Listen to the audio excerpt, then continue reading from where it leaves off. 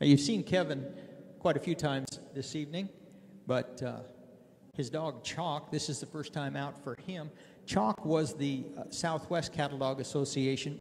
Kevin, will start you now.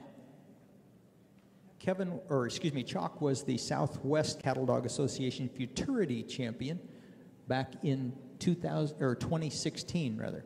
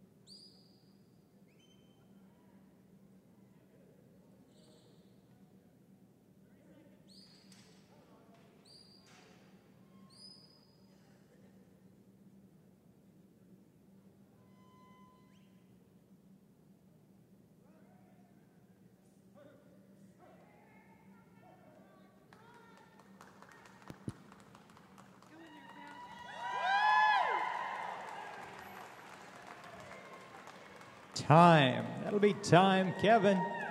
As we get him out the gate, just under the wire. Good job for Kevin Lippe and Chock.